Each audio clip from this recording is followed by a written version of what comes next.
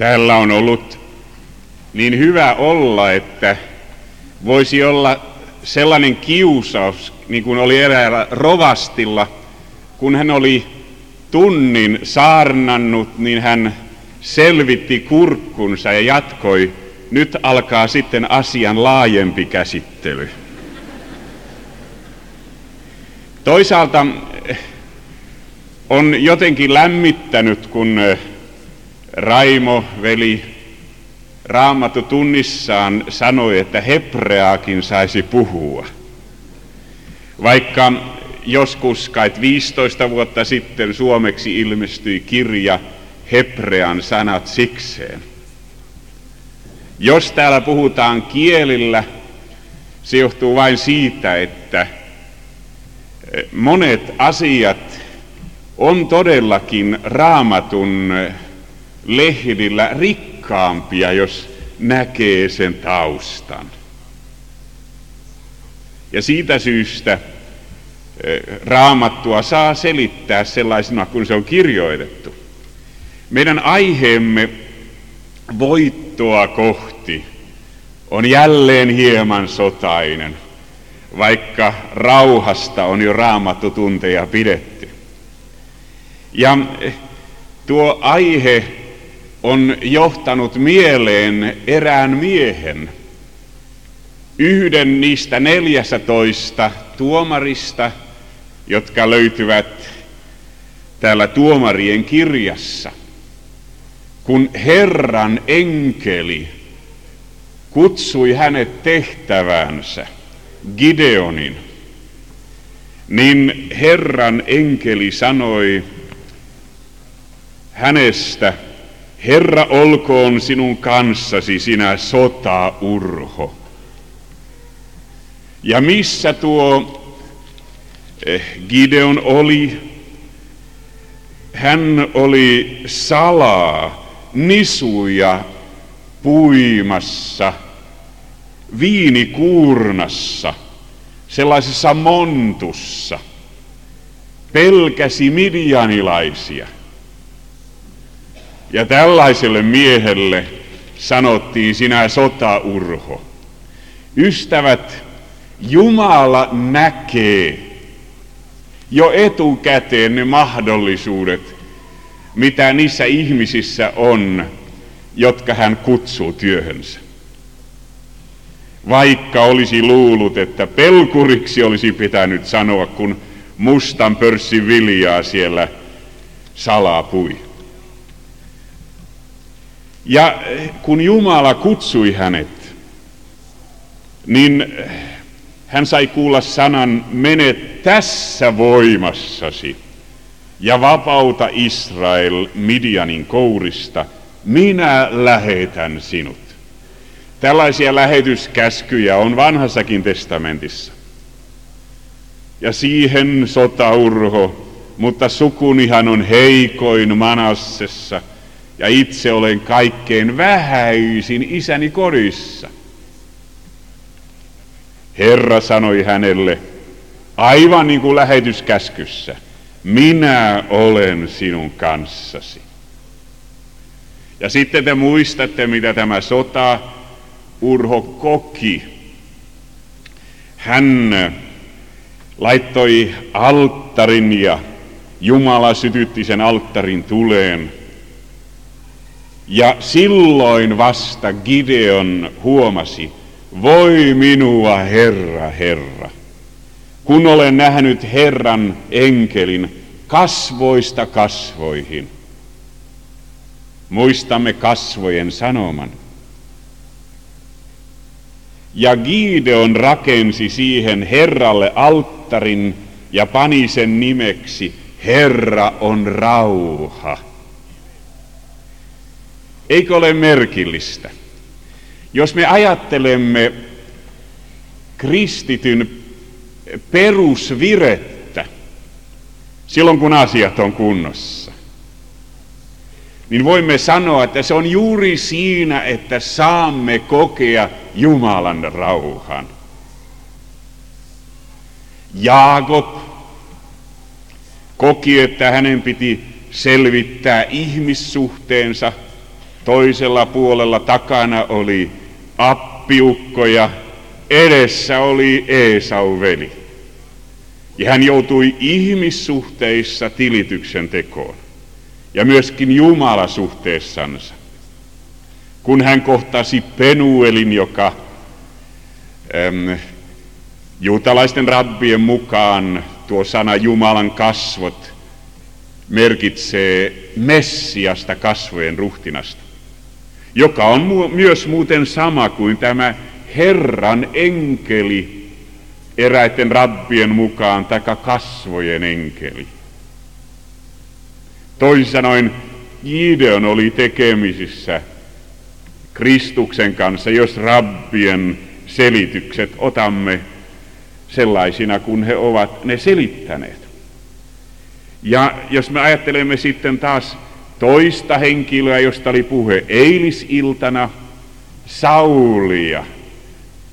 Saulin piti päästä rauhaan oman itsensä kanssa. Niin, että hän hyväksyi oman pienuutensa ja oman rajoittuneisuutensa. Ja näin hänestä tuli kypsä Jumalan ihminen. Hänestä tuli Paulus eli pikkuruinen. Mutta mikä oli Gideonin tuon sotaurhon äm, ongelma? Hänen piti saada sydämeen ensin rauha, ennen kuin hän oli kelvollinen taistelemaan. Ei omissa voimissaan, vaan todellakin Jumalan tahdon mukaisesti. Rauhasta on hyvin usein kysymys. Ja kun täällä on sanottu, sanottiin, että saisi myöskin hebreaa selittää esimerkiksi tuota shalom-sanaa, joka oli hyvin meille esitetty ihmisten kielellä, niin ehkä voin sanoa sen, mitä juutalainen kokee, kun kuulee sanan rauha shalom. Sen sanajuurena on ensikään yksi sana shalem, eli täydellinen. Sen täydellisempää sisäistä tuntoa ei ole kuin rauha. Jeesus sanoi, tämän minä olen puhunut teille, että teillä olisi minussa rauha. Ja minun rauhani minä annan teille. Hän sanoi myöskin tuota kaavaa käyttäen, tämän minä olen puhunut teille, että minun iloni olisi teissä ja teidän ilonne olisi täydellinen. Jotenkin rauha merkitsee sellaista täydellistä tuntoa. Ei mikään niin tyydytä ihmistä kuin se, että pääsee omasta levottomuudestaan ja saa kellua Jumalan hyvyydessä. Meillä kun olemme jo ukki ja mummi vaimon kanssa, meillä alle nelivuotias pikku karipoika, hän kellui jo vuosi sitten minuutin. Ja nyt kolme minuuttia, mutta kun nauru tuli, niin sitten ei enää voinut kelloa. Voi kun oppisimme kellumaan. Se on täydellisin tunto, minkä ihminen voi tässä elämässä kokea, että asiat on kunnossa. Toinen sana, mikä tulee mieleen shalom-sanasta, on sana shilum, eli maksu. Kun meidän velkamme on maksettu, kun meidän syntimme on sovitettu, ei hopealla eikä kullalla, vaan Kristuksen kallilla verellä, niin kuin sana sanoo. Niin silloin meillä on rauha. Siinä tuo sana shillum eli maksu. Mutta myöskin sana shelamim eli yhteysuhrit tulee siitä. Rauhan uhri, peace offering, sanoo englantilainen. Sillä ihmiset etsivät, kun he tulivat uhraamaan, kun ajattelemme kolmannen Mooseksen kirjan alusta, niitä viittä eri uhrilajia. Ihmiset etsivät todellakin rauhaa. Ruokauhri sanan takana minha on sana lepo. Ihmiset etsivät lepoa. Ja tahtoivat päästä irti syyllisyydestään, asam syyllisyysuhri. Tällä tavalla Hebrea tuo ikään kuin raamatun lähemmäksi. Ja ystävät, siitä on kysymys, kun Herra on rauha, että me todellakin vakuutumme siitä, että meidän velkamme on maksettu ja saamme elää Jumalan budjetista. Emme ole omavaraisia enää, kun se niin äkkiä tulee se pohja näkyviin siitä omasta kassasta. Ystävät, Gideon koki näin. Herra on rauha. Jo vanhassa testamentissa. Ja jos me luemme raamattua, me huomaamme, että tämä rauhan sanoma liittyy vanhassa testamentissa todellakin Messiaaseen. Kun työkseen joutuu Israelissa pitämään hebreankielisiä raamatutunteja, niin joutuu myöskin lukemaan niitä vanhempia lähteitä. Ja kun esimerkiksi niin sanotussa alkuevankeliumissa 1 Mooses 3.15, jossa puhutaan vaimon siemenestä, joka polkee rikki käärmeen pään, ja käärme pistää häntä kantapään. Kun sitä juutalaiset selittivät 2000 vuotta sitten, niin kolmeen aramealaiseen targumiin, joiden eh, perimätieto, arvo tulee Jeesuksen ajalta ja osittain ennenkin. Kolmessa näissä sanotaan, että tämä vaimon siemen on Messias kuningas. Ja siis häntä haavoitetaan kantapäähän. Mutta kun siinä on hebreaksi sana Jesuvha, niin se on arameaksi muunnettu, Jutta. Hän tekee rauhan. Ja on ihmeellistä lukea näitä vanhoilta raamatun selittäjiltä, että todellakin vaimon siemen on Messias, ja hän antaa rauhan ja tyydytyksen, kun hän saapuu. Ja siellä rabbit sanovat myöskin, että silloin hän on oleva heidän vapahtajansa. Hän siis antaa rauhan. Taikka jos otamme raamatun toisen Messias-ennustuksen, Jaakobin siunauksen, kun valtikka, valta ei siirry pois Juudalta ennen kuin tulee hän, jota kansat tottelevat.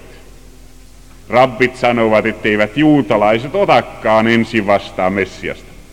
Vasta myöhemmin tuo hylätty kulma kivi pannaan kaikkien näköiselle, suurten kärsimysten jälkeen, koska kansat häntä tottelevat. Vanhoissa vanhoissa lähteissä puhutaan siitä. Ja sitten hän sitoo aasinsa viinipuuhun, viiniköynnöksen aasinsa varsan. Ja siitä rabbit sanovat, ei hän tule sotaratsulla – sotaan varustautuneena. Hän antaa rauhan, hän on rauhan ruhtinas. Ystävät, tämä rauhan sanoma tulee esille Messias ennustuksissa. 9. luvun, jossa on lista Messiaan lempinimiä. Hän on ihmeellinen, hän on neuvonantaja, hän on äh, sankari, Hebreassa, hän on Jumala El. Ja hänen aikalaisensa kutsuvat häntä Jumalaksi, sanovat rabbit. Hän on iankaikkinen isä ja rauhan ruhtinas. Ja vanhat oppineet sanovat, ei ole rauhaa ilman rauhan ruhtinasta. Ilman Kristusta, Messiasta. Ja sitten sanotaan näin, herraus on oleva suuri ja rauha loppumaton. Kun jouluna sitä luetaan yhtenä vaihtoehtoisena joulun evankeliumina, siis vanhan testamentin puolelta, niin siinä puhutaan rauhasta. Rauha on loppumaton. Ja sen koki Gideon. Hän koki tämän messiaanisen luonteen siinä, kun hän kohtasi Jumalan kasvot kasvojen enkelissä, liiton enkelissä, Herran enkelissä. Ja hän joutui sanomaan tuo sotaurho, että Herra on rauha. Ja ystävät, kun meillä on vaikeuksia ja tulee kaikenlaisia kinkkisiä tehtäviä ja kokee, että ei ole oikein kypsä eikä ole tehtävänsä mittainen, niin voi laulaa rauhalla ei loppua, kun sen Jeesus antaa. Lampaansa, kun korvesta olallaan hän kantaa. Ehkä teillä on tällaisia kokemuksia, eikä siinä tarvitse olla kovin hengellinen, kun sen kokee. Sillä hengellinen elämä pukeutuu ihan tämän arjen keskellä sellaisiksi kokemuksiksi, jotka ovat aivan todellisia. Nyt jos me ajattelemme kristin uskon perussanomaa, se on juuri tässä. Tämä on Jumalan erikoistarjous. Jeesus sanoi, minun rauhani minä annan teille. Ja tämä rauhan kokeminen merkitsee voittoa levottomuudesta. Jesajan kirjassa on semmoinen kohta, joka on erittäin hyvä lähetys saarnaajalle. Kun täällä Jesajan kirjassa 28. Eh, luku jae 16 puhutaan Sionin peruskivestä, koetellusta kivestä, kalliista kulmakivestä, joka muuten rabbeillekin on Messias lujasti perustetusta. Siellä sanotaan, joka uskoo, se ei pakene. Ja se on hebraaksi loja heis, joka uskoo, se ei hoppuile. Kaikki sellainen levoton, kiireinen mieli, joka eh, niin helposti tulee sydämeen, niin se kaikkoaa silloin, kun hetken on aivan hiljaa. Ja sen saa Jumala aikaan. Herra on rauha. Ja tämä on myöskin todistus siitä, että Jeesus Kristus on vapahtaja ja Messias.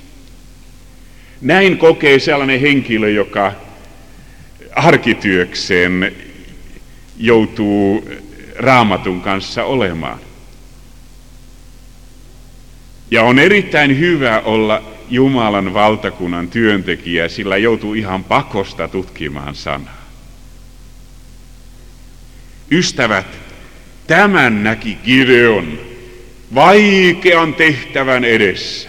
Mutta sittenkin hän vielä ajatteli, onko se nyt ihan näin. Hän pani villat kalliolle ja tahtoi merkkiä. Ensin villat kastu ja kallio oli kuiva. Ei, pannaan toisella tavalla. Sitten kävi niin, että kalli oli märkä ja villat oli kuivat. Ja sitten hän uskoi, ja hän salaa yöllä teki Jumalan valtakunnan työtä ja niitä epäjumalalan alttareita kaatoi. Kunnes sitten sai käskyn, että mies kerää Israel yhteen. Ja hän keräsi 32 000. Ehkä muistatte tuomarien kirjan kuudes lukuhan sitä puhuu. Ja seitsemäs.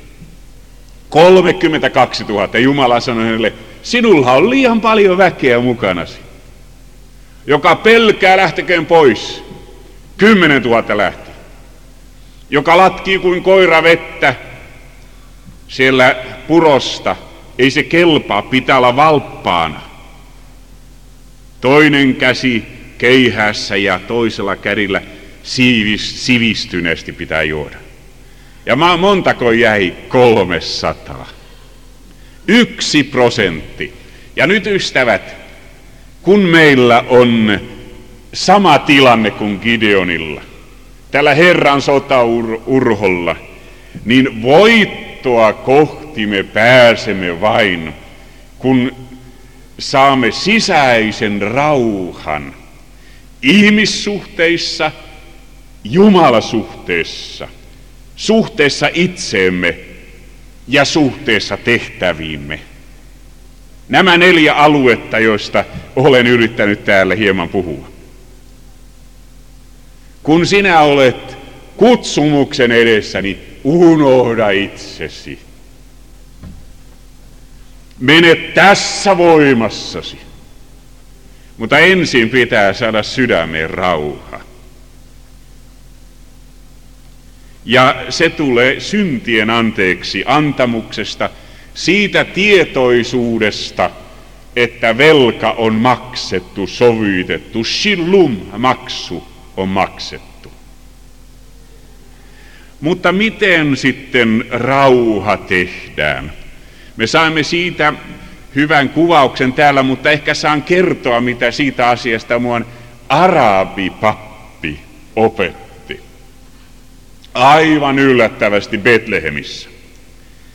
Hän sanoi, että kun jotakin sattuu, onnettomuus, että ajaa autolla jonkun päälle ja haavoittaa toista, taikka toinen kuolee jopa niinkin, niin joutuu verivihan alle. Koston laki määrää käyttäytymisen.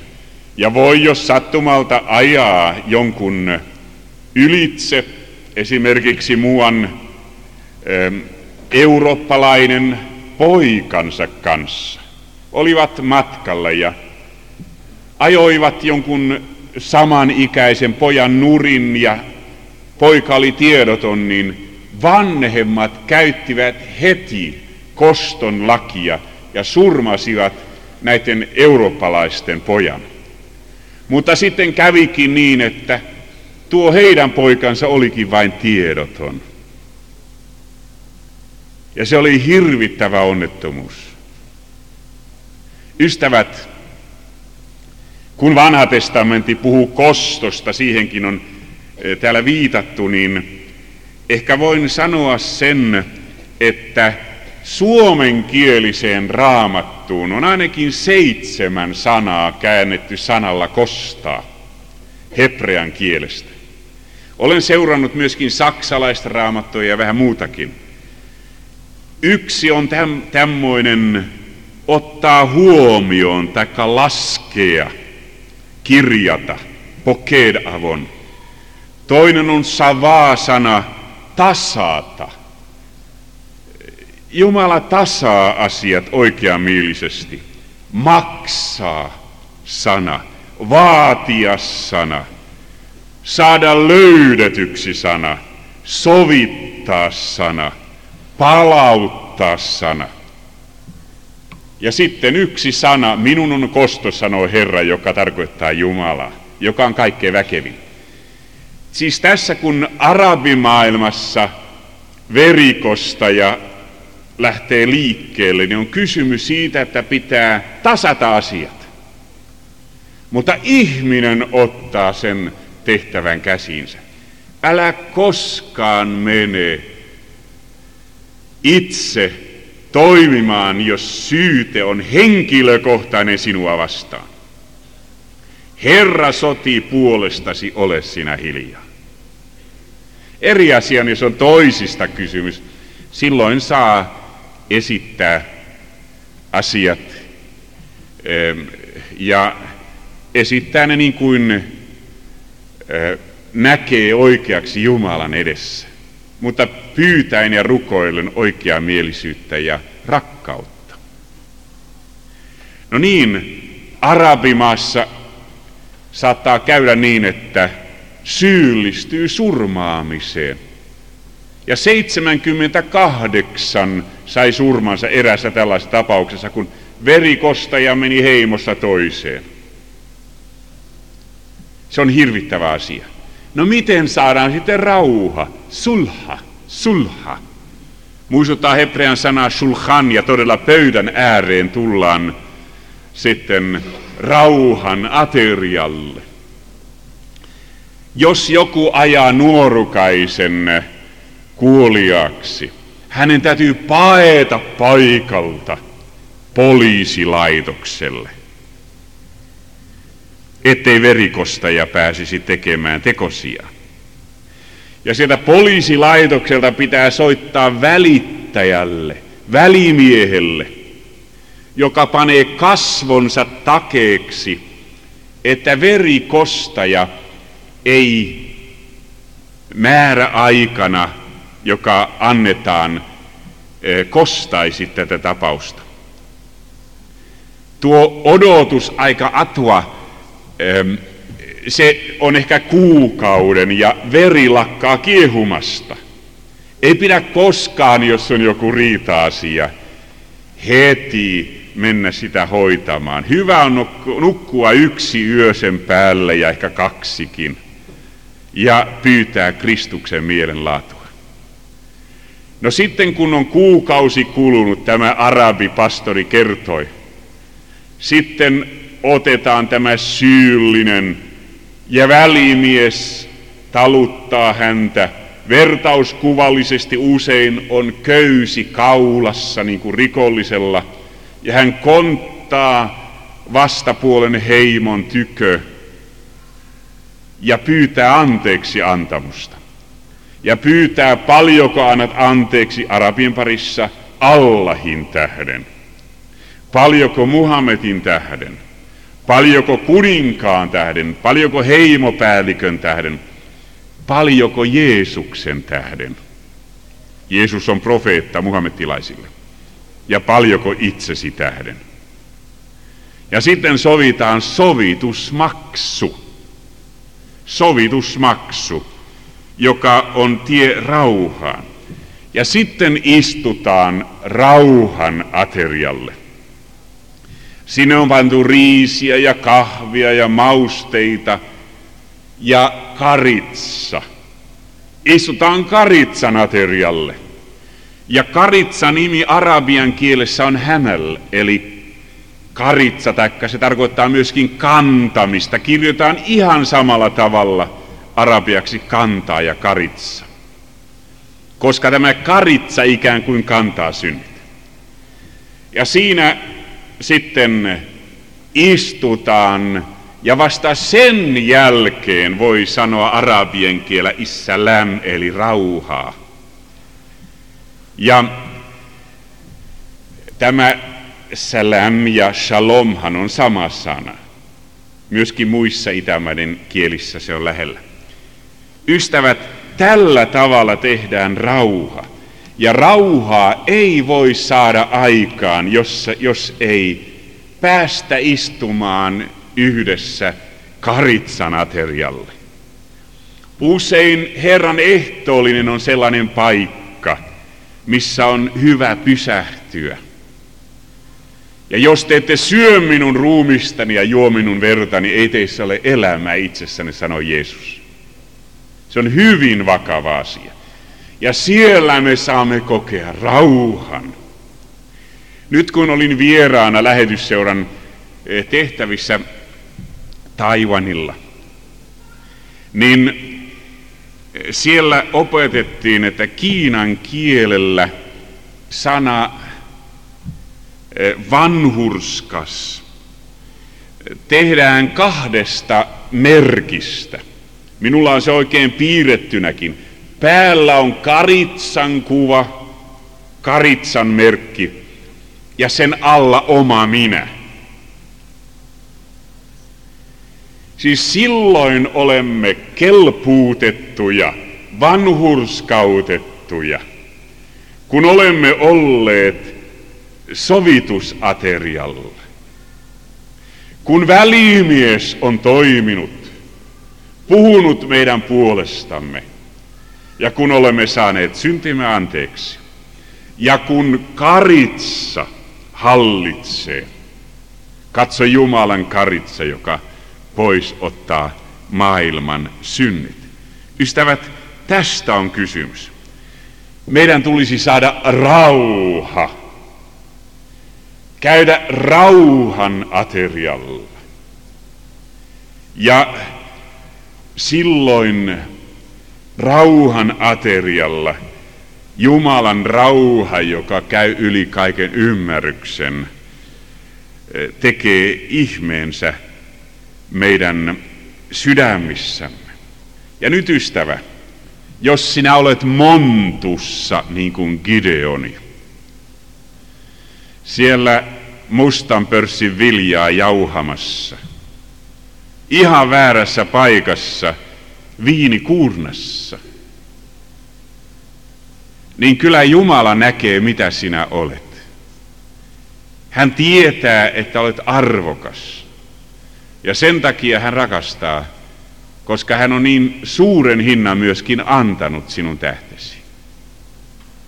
Ja nyt salaisuus on siinä. Koko uskon elämän salaisuus ja voittoa kohti kulkemisen salaisuus, että pysähdymme Jumalan rakkauden edessä ja hiljenemme ja suostumme, että hän antaa meille rauhansa. Ehkä olet lapsena joskus heittänyt lampeen kiveä. Saa pitkän aikaa odottaa ennen kuin se ihan tasaantuu. Ja voi olla, että saat odottaa pelastuksen lähteen äärellä, kunnes kaikki rauhoittuu sisimmässä ja sitten sinä saat rauhan. Ja kristinusko on siitä erinomainen tarjous, että Jeesus Kristus on syntisten ystävä. Hän vanhurskauttaa jumalattoman. Jumalattoman. Ja meidän tulee nähdä tämä asia edessämme. Minulla on nyt luvun alla semmoinen vähän humoristinen, hengellinen kirja, jonka matkalla ostin How to fail successfully. Kuinka voi epäonnistua onnistuneesti? Kuinka voi epäonnistua onnistuneesti? Oikein syvällinen hengellinen kirja. Ja siinä tahdotaan näyttää, että meidän epäonnistumisemme, meidän heikkoutemme, jopa meidän pelkomme, kaikki se voi olla Jumalan mahdollisuus, sillä silloin meillä on asiaa Jumalan tykö. Ja jos me epäonnistumme omissa silmissämme, voi käydä niin, että me epäonnistumme hyvin onnistuneesti ja löydämme tien hänen tykönsä, joka antaa meille todellakin rauhansa. Tämän minä olen puhunut teille, sanoi Jeesus, että teillä minussa olisi rauha. Yhdymme rukoukseen.